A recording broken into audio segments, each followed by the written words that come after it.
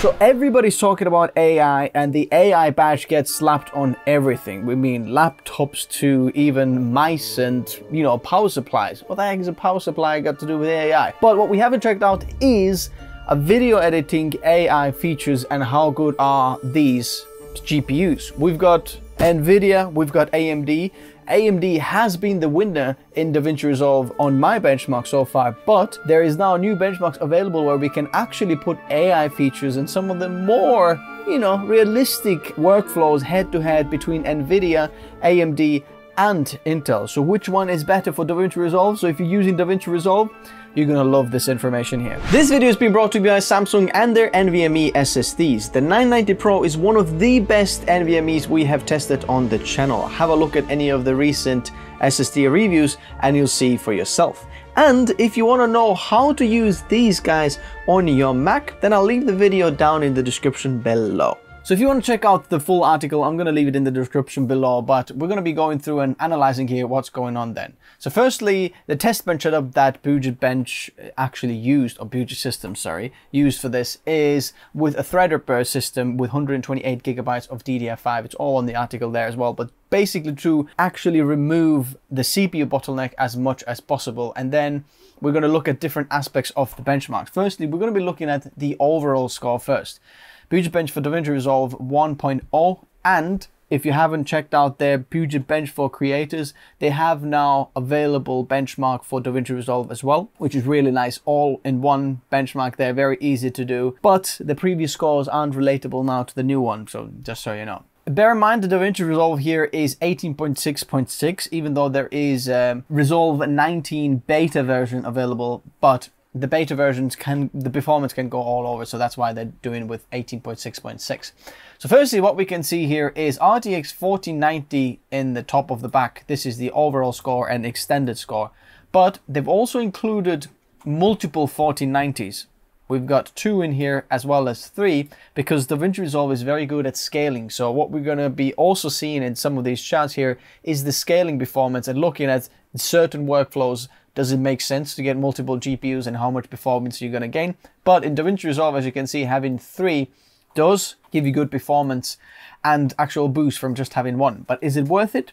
For most people, the answer is probably no. But in certain workflows, you'll see you can get very close to three times performance and that's going to be very beneficial for you then. Now, usually AMD GPUs here have been a little bit better in DaVinci Resolve in my test bench benchmarks what we released when we tested all of them but since the new version now come out and we can test different aspects you can see that the best of AMD 7900 XTX is about on par with the 4070 Ti Super. Interesting thing is the Ti Super is slightly cheaper or can be slightly cheaper than the 7900 XTX depending when you're watching. I'm going to leave all the GPUs in the description below as well if you want to check out the latest pricing or pick any of these up. That shows that interestingly Nvidia again is on the top. Now you can be a little bit confused with the different colors here because I think Puget System should have gone AMD, this should have been red here, and then Intel should have been blue, but for some reason, everything apart from 1490 and 7900 XTX and Intel are this turquoise green. So bear in mind the colors might actually confuse you a little bit. If you look at the last generation 6900 XT, that performs roughly on par with the 2080 Ti, which is quite an old card. And in extended overall scores, the Intel Arc A770 absolutely flops, is slower than the 1080 Ti from whenever ago, and the 4060 and 4060 Ti are almost double the performance as A770, which is interesting. Now, Bench thinks that AMD and Nvidia got better optimization for the software, which Intel maybe not have done it, or the new benchmark version is a lot harder on the Intel cards than on the other ones, and perhaps that's why it's slower. But the fact of the fact is that Intel is the slowest in the bunch here. The card that actually sticks out to me is the 4070 Ti Super because that's basically a little bit of a cut down version of the 4080 Super that performs in here quite a bit better, but is quite a bit cheaper than the 4080 Super. As you can see, 4080 here and you get 16 gigabytes of VRAM as well. Which is very, very good for DaVinci Resolve. But the interesting twist here is that the AMD 7900 XTX actually has 24 gigabytes of VRAM. So if you're looking for a lot of VRAM, you might want to go with the 7900 XTX instead of the 4070 Ti Super because of the VRAM buffer. Extra 8 gigabytes might be very helpful for you. Now let's keep going. Diving deeper, a little bit different parts of the benchmark. Firstly, Fusion, which is kind of like the after effects of DaVinci Resolve. And here we can see that the 4090 is, again, top of the chart and is quite a bit faster than the 4080 Super as you can see there. Now to me the 4070 Ti Super performs very very close to the 4080 Super which kind of starts to be the best bang for buck kind of Nvidia GPU looks like the trend is coming up again. But what's interesting is that the best of AMD here is the same as 4070 Super from Nvidia at half of the VRAM buffer. And if you're running a 2080 Ti with 11 gigabytes from a while ago, you're still very, very good. You're performing exactly the same as the 7900 XTX or a few percent slower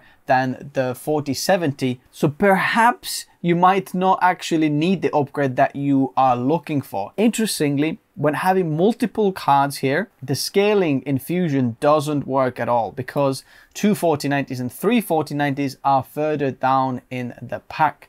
The 1080 Ti is actually faster than the Arc A770 in Fusion, so that kind of doesn't make sense. Again, if you're on Intel Arc, probably DaVinci Resolve right now isn't the best for you. But Intel's known for having very good updates for the drivers, so let's hope that they optimize their GPU a bit better to be closer to NVIDIA and AMD. If you look at the actual multi-GPU scaling um, chart here now for this fusion, you can see that depending on the different effect or what you're trying to do, if you're doing turbulent particles, as you can see, having one 4090 is a lot better than having two or three.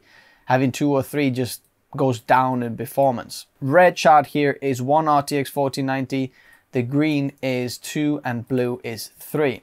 Interestingly though, phone composite UHD, you can get 223% performance gain over the 4090. But having two cards only makes about 9-10% difference. So that's interesting. But most of the cases, having two or three cards, as you can see, the performance goes down. Performance goes down. But here, 3D lower third, everything's the same, but most of the time the performance goes down. So Resolve can actually quite a bit of optimization in Fusion part and actually optimize it a little bit better. Most likely your Fusion is actually limited by the CPU performance, so having a better CPU in Fusion might be a better idea than actually better GPU. Having a 4090 is just the best. Now next up we have raw scores and this is raw extended. Here we can see having raw, two GPUs does give you boost and three gives you a little bit more boost. Now it doesn't scale quite as like two, three times the performance, but you can get a little bit more. When looking at the raw now, suddenly the 7900 XTX is faster than the 4080 Super, which is roughly about the same price point, or actually probably a little bit more expensive these days. The 7900 XTX is only a little bit slower than the 4090. So depending which RAW you're using, AMD actually performs quite well in there. Interestingly,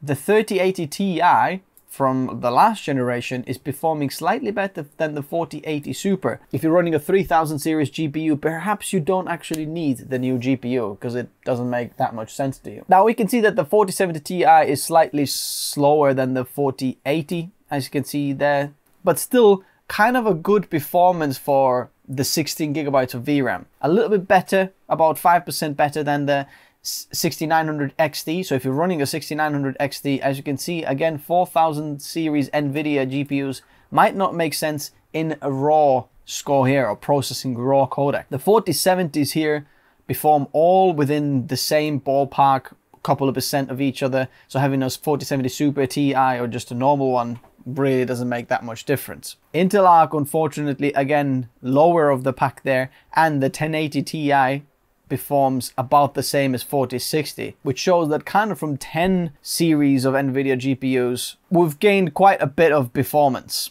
Looking a little bit deeper into the raw processing score, there's different types of raw that we're looking in the extended overall here, which is 8K red, 4K red, 4.6K B raw, Sony 5K raw, 4K Arri raw, and 4K Cinema raw light. As you can see, having multiple GPUs, 4K Cinema Raw Light doesn't give you any performance gain. The same with 4K RedRaw and 8K RedRaw. Having multiple GPUs doesn't give you any performance boost. When looking at the B Raw, having two or three GPUs kind of performs the same, but going from one to two gives you extra 57% boost, which is insane boost.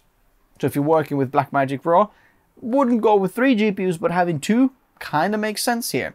Sony 5K Raw, interestingly, having two GPUs only gives you 8% boost, but then from two to three, you get insane boosts in performance. The same with Arri Raw. If you go in two or three, there's quite a good scaling up here. So depending on your workflow, which raw codec you're processing, it might make sense for GPU scaling, but for certain codecs, again, doesn't make any sense at all. Moving on to GPU effects, and now this is the OpenFX scores, and we can see how good are the different GPUs in processing these effects. Again, having two or three RTX 4090s here, huge performance boost, as you can see. Having three RTX 4090s is more than double the performance compared to the 4090, which is insane. And interestingly here, the multi-GPU scaling doesn't need an NVLink. It's just like plug the GPUs in and they talk to each other. Interestingly here for GPU effects, the 7900 XT performs slightly faster than the 4080 Super. 3080 Ti still holds its performance very, very well, and the 4070 Ti Super falls a little bit behind the 4080 but is actually faster than the 6900 XT and any of the 4070s which are actually quite a bit further down compared to the 4070 Ti Super here. Again, Intel Arc is on the bottom there, but for GPU effects extended is not far behind than the 4060 from Nvidia. As you can see, the different effects in multi-GPU scaling, certain effects give you quite a bit of performance. For example, sharpen, when we go with three GPUs, it's very good scaling, 283% compared to just one. So that is very, very good scaling. And most of these effects here, as you can see, with three GPUs give over 200% increase if you have multiple GPUs. But it just depends like how much of these effects you actually work. But spatial noise reduction here might be something that you're doing quite a lot. So having multiple RTX 4090s kind of makes sense as well as film grain. So it's, it's up to you here now. The temporal noise reduction doesn't give you that much performance boost. I mean, Three 4090s are still 36% better than one, but not as much as having multiple there. And finally, the last bit what we're looking here is the AI score. So finally now, Puget Bench has included some AI features of DaVinci Resolve and different GPUs. So this is like the very new stats and benchmark scores of the AI because previously they haven't been tested. And there's some very interesting results. So having multiple GPUs on NVIDIA actually kind of scales kind of well as well. Now the 4080 Super is doing very, very well. And from 3000 series 4080 Ti, as you can see, there's quite a bit of a boost there. I'd say the 4070 Ti Super again holds its ground there very, very well and is a considerable jump up from the 4070s here. Interestingly, the 4070 and 4060 Ti perform about the same. And this is the bad news from AMD here now. The Radeon 7900 XTX is slower than the 4060 Ti, as you can see in here, which is a little bit embarrassing. Only slightly better than the 2080 Ti from quite a while ago, but that shows that the 2080 Ti, so 3000 series and 2000 series NVIDIA cards, aren't as good with the AI features as the 4000 series. But at the same time, the 3080 Ti is performing better than the 4080. So if you have a high-end 3000 series card, it kind of makes sense, but 2000 series, not so much anymore. Intel Arc here is slightly faster than the 1080 Ti, but embarrassingly slow compared to the 6900 XT or 4060, which is very close to three times better. And when looking at the GPU scaling in certain AI features, we can see that DaVinci Resolve has some optimization still to do with different uh, effects or AI uh, actual features. Because you can see that if we're looking at the scene detection cut they're kind of the same. A lot of these effects here on the top are about the same. But then at the same time, optical flow, if we go in 50% warp speed, Having three gives you double the performance. Having two doesn't give you anything. So not exactly like good scaling. Then there's a bunch of effects here again that don't give you that much performance boost. Then depth map, having two or three doesn't give you much of a performance increase, but at the same time, person mask gives you quite a big difference between two or three GPUs and having two GPUs is about 55% faster, which is insane. Now face refinement and super scale, having three GPUs gives you quite a bit of a performance boost and the scaling is quite good. Now from 2 to 3 obviously is a smaller jump between than the 1 to 2, but still having multiple GPUs in a lot of the AI effects does give you a better boost. Now you can definitely see that Resolve has some improvements to do and actually can make it a little bit faster and optimize these neural engines on these NVIDIA 4000 series GPUs a little bit better, but we can see that if they do, the results are pretty good. So now, in conclusion, which are the best GPUs for DaVinci Resolve? You can see that the NVIDIA 4000 series are actually in the lead. If you're looking for just the best of the best, the 4090 is the one for you. And if you've got extra money to spend, having multiple GPUs depending on your workflow can give you a considerable boost, but make sure that it does actually makes sense for your workflow because in some instances it doesn't. Now, the AMD 7900 XT performs kind of in the same ballpark as the 4080 Super from Nvidia, but at the same time in the AI tasks falls massively behind. So if you're doing any of the AI features or using the AI effects on DaVinci Resolve, the AMD cards aren't as good.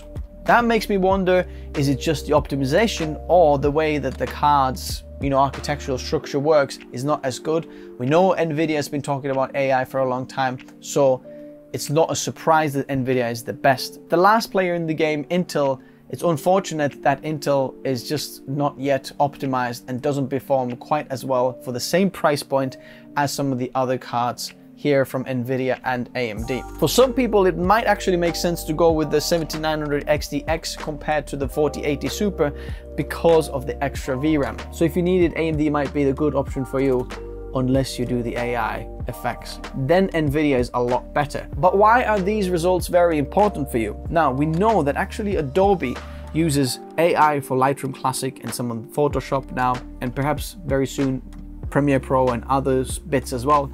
That shows us that NVIDIA they are the AI, you know, hardware leader, actually does perform quite a bit better than AMD and Intel, meaning if you are using AI features in Creative Cloud as well, we can speculate that NVIDIA is the good option for you. For example, Lightroom Classic, if you're doing the AI denoise, NVIDIA cards are probably better for you. But we're gonna have to see that as well. If you enjoyed this video, hit that like button, it actually makes a difference. If you wanna pick up this t-shirt, I'll leave it in the description below as well. And if you have any other questions, I'll always get back to my Minnect messages. Thanks guys for watching and I'll see you soon.